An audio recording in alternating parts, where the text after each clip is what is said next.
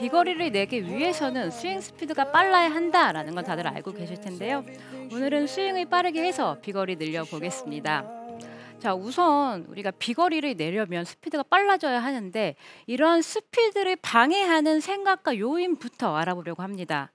사실 이 생각은요, 제가 했었던 생각인데요. 아마 많은 골퍼분들께서 이렇게 생각하실 수 있을 것 같은데요.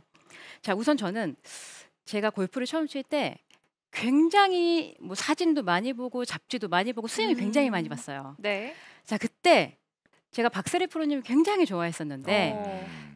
어느 날 잡지를 보는데 그 사진에 너무 멋있는 사진이 있는 거예요. 음. 저의 제가 제 가장 너무 열심히 였- 했던 연습인데 이렇게 딱 팔로우스를 딱 이렇게 팔을 피면서 음.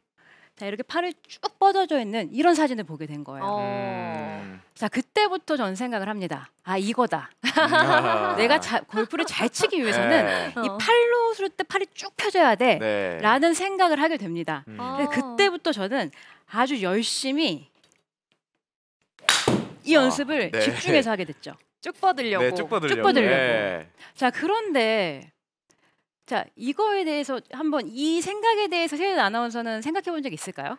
저는 너무 많이 생각했죠. 사실 진짜 많은 아마추어 골퍼들이 공감하실 걸요. 맞아요. 왜냐면 박세리 프로의 사진을 봤다고 했지만 저도 수많은 프로들의 그 멈춰 있는 그 순간의 사진들을 많이 봤고 영상으로 보더라도 뭔가 쭉 뻗어서 넘어가는 느낌이 나잖아요. 맞아요. 근데 왜 내가 영상을 찍으면 난 늘 치킨잉일까라는 아, 생각을 그렇죠. 하면서 좀 팔을 제발 좀 뻗고 싶다는 생각에 애초에 칠 때 좀 뻗는 걸 의식해서 쳐야 하나 이런 노력 진짜 많이 했던 것 같아요.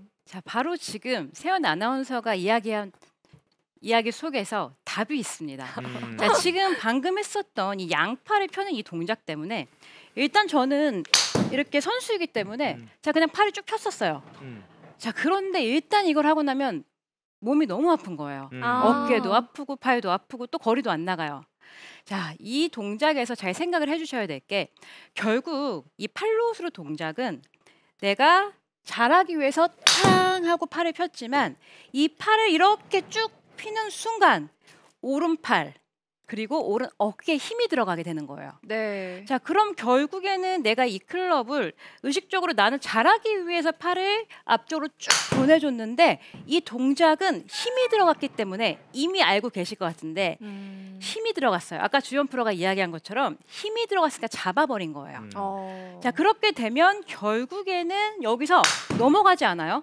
음. 자, 여기서 이제 어떻게 넘어가요? 이미 힘이 잡혔기 때문에 음. 자 그렇기 때문에 피니시까지 가지 못하고 자 이렇게 팔을 쭉 편 상태로는 피니시까지 갈 수 없기 때문에 음. 결국에는 이 클럽을 잡아당기게 되는 그런 음. 결과가 나타나서 네. 내가 이 팔을 쭉 피려고 한 그 동작 때문에 치키닝 동작이 나왔다. 음. 왜냐하면 이 클럽을 잡아 버렸기 때문에 이건 치키닝이 된 거다라고 이해를 해주세요. 음. 자 그러면 프로처럼 이 헤드를 멋있게 던질 수 없느냐?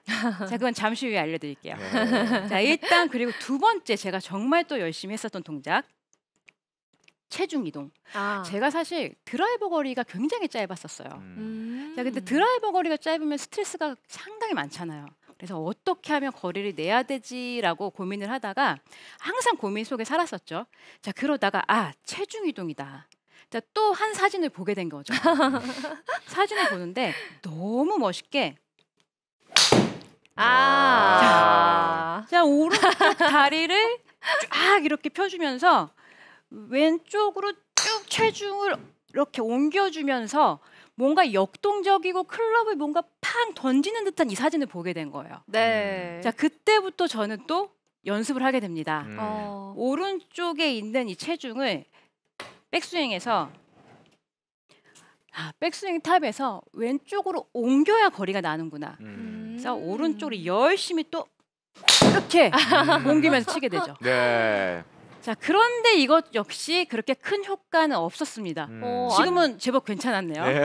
아니 네. 근데 체중은 음. 다 왼쪽으로 확 실어야 거리가 당연히 멀리 가는 거 아니에요? 음. 그렇게 맞아요. 생각을 많이 음. 하실 것 같은데. 네. 왼쪽으로 실어야지 멀리 가는데 그 부분에 대해서도 제가 다시 한번 설명을 드리고 싶어요. 음. 체중을 이동을 하는 건 자연스러운 자 백스윙을 갔다가 내가 내려올 때 왼쪽에 축이 딱 잡히면서 오른쪽에 힘을 탕 실어주는 역할을 이제 왼쪽은 축, 오른쪽에선 힘을 이렇게 밀어주는 역할을 하게 돼요. 음. 자, 그때 이제 자연스럽게 이렇게 체중이 이동이 돼야 하는 건데 여기서 내가 체중 이동을 해야 음. 돼라고 이렇게 하게 한 번에 백스윙에서 한 번에 체중을 이렇게 옮겨버리면 결국에는 이 동작은 내가 한 발로 이렇게 스윙을 하는 거나 아. 똑같은 동작이 되어버리는 음. 거죠. 오. 자, 그렇기 때문에 절대 이 두 동작은 아마 많은 골퍼분들께서 생각을 하실 거예요. 그런데 오해하시면 안 됩니다. 음. 양 팔, 팔로 스루를 쭉 내가 펴는 것이 아니고 체중 이동을 내가 의식적으로 너무 이렇게 하게 되면 오히려 스피드를 방해하게 되고 클럽을 휘두를 수가 없어서 비거리가 나지 않는다라고 생각을 해주시고요.